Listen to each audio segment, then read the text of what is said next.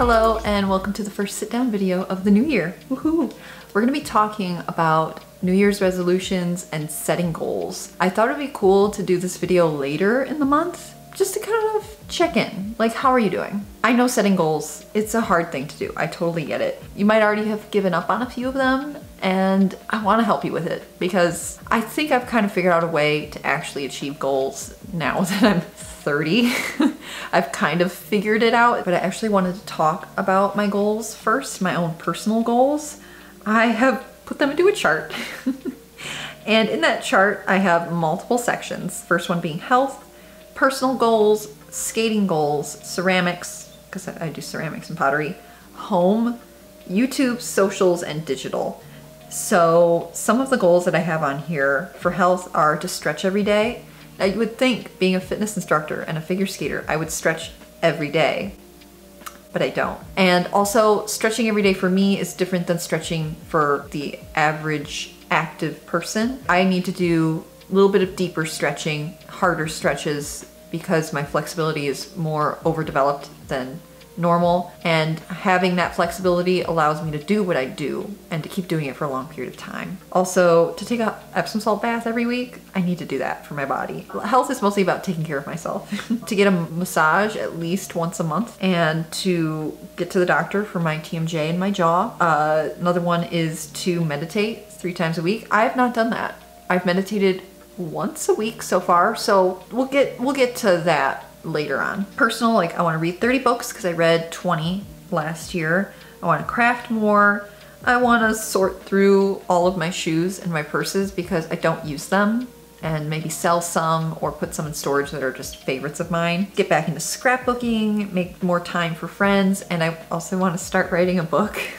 And the book will have is not like a YouTuber book. It's it's a diff, it's it's a story that I kind of thought of like a long time ago that I just want I want to actually write it all out. And then with skating, my first goal was to land a double loop, and I actually did that last Friday.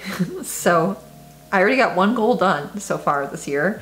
Actually, more than that. Then my next goal is to land my double flip, my double toe, and then and then do a jump in a program. Last one was to start coaching again, which I also did on that same day. So I've already gotten two goals done for this year. And in ceramics, I want to start my online shop, make my first like cohesive collection, teach classes more regularly, sell at my first art fair, and do a local art show, like in a gallery. For home, I wanted over the summer I worked on the front yard and I did the one side in rocks. I want to do the other side so that it's balanced. I want to move our sandbox that's in our backyard closer to the water so it's like a little beach. And I really want to get more into my flower box garden. Like we kind of started it this past summer, but I want to like really do it. And I want to start to decorate for all of the holidays. Valentine's Day is coming up and I haven't really decorated, but it's not too late. I still have time. I could at least put up a couple things, although I haven't gotten all of the Christmas stuff down. So that's step one, is to get some of that down and then maybe we'll put some other stuff up. And my big project for the house this year, that might carry over to next year if I'm being honest, is to declutter our office because I have some junk in there from like school that I just don't need. I just need to go through it. I just need to let go. And YouTube, I'm currently in the process of the first one, which is filming a year of workouts. I, however, have been slowed down needless to say, the first week of the year I pulled a muscle in my back, and then last week shoveling snow, or should I say slush, I pinched a nerve in my back. And this is the first day that I can actually focus enough to talk to you. I've been in so much pain, you guys. It's ridiculous. I also would like to hit a thousand subscribers this year. That would be nice. Tell your friends.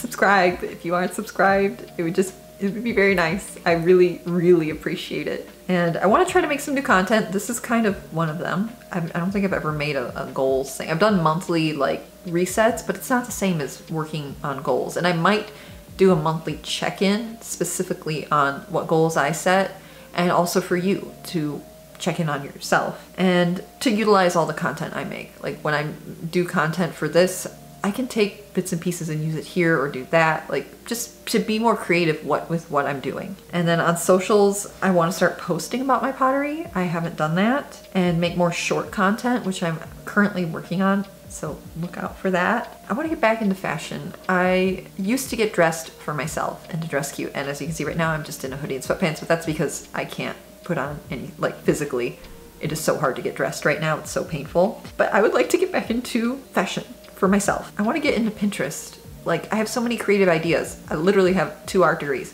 I should use them on Pinterest.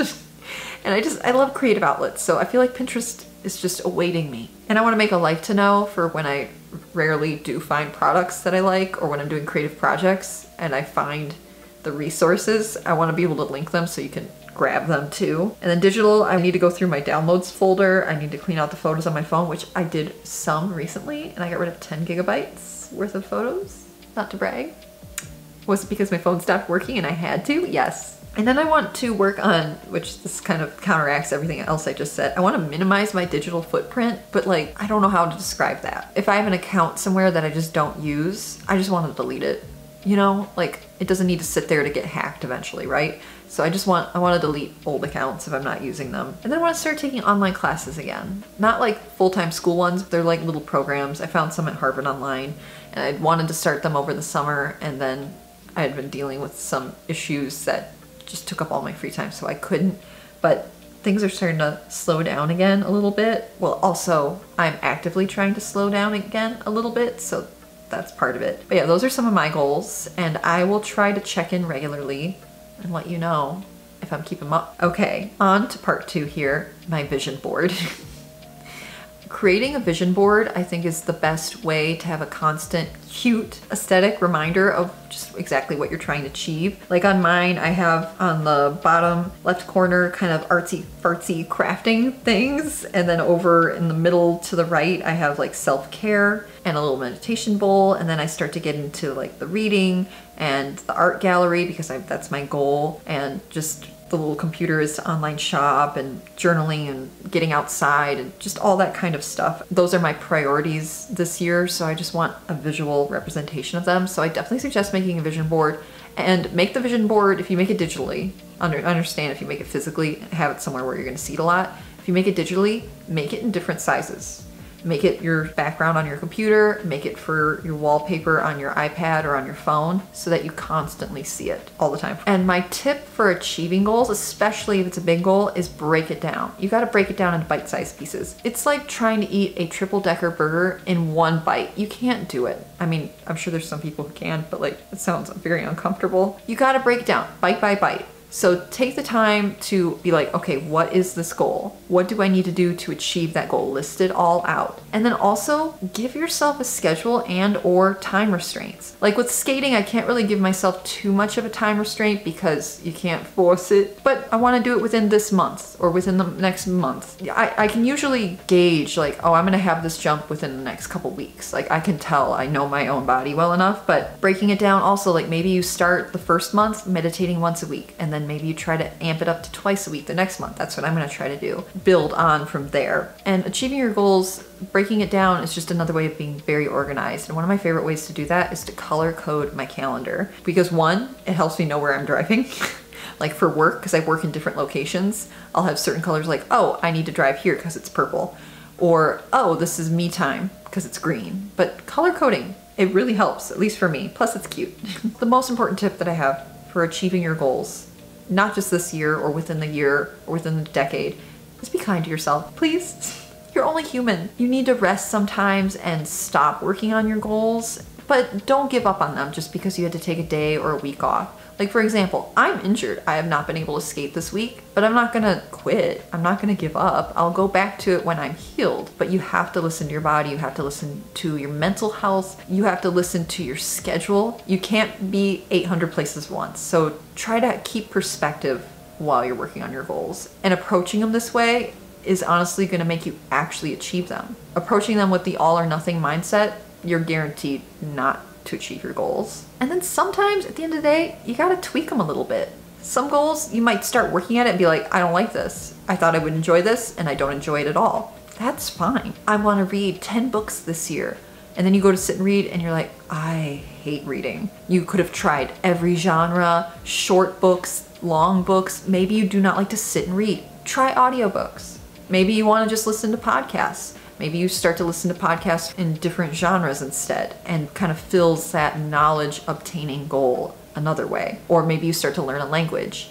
it's kind of all in the same vein because you're working your brain. But health wise, maybe you're like, I'm gonna do CrossFit. Might not be for you. Maybe you need to go take beginner ballet classes. Getting dressed up, you know, and be, feeling all cute is the kind of encouragement you need in order to find a form of fitness that works for you. You do not need to work out in a way that everyone else works out. You can just do what's fun and still be moving your body. There's so many ways to move the human body around, trust me. You could just play Twister 20 minutes a day. That could be your exercise, and that is fun. Ooh, speaking of fun, remember Elefun, that game with the elephant and like it would blow the butterflies everywhere and you catch them in the net? That's exercise. That's just another form of exercise. So there are options, but I would love to hear what some of your goals are and what your approach is to them. Like down in the comments, we can talk about it. And if you're having a hard time achieving your goals, I would love to help you in any way I can, like to break it down, figure it out, or maybe change them. You might need to tweak them. But yeah, this is gonna be a little safe space for achieving our own little personal goals and we're gonna cheer each other on. So with that, thank you so much for watching. Make sure you subscribe, turn on the notification bell because I don't really have a posting schedule right now and I will see ya when I see ya.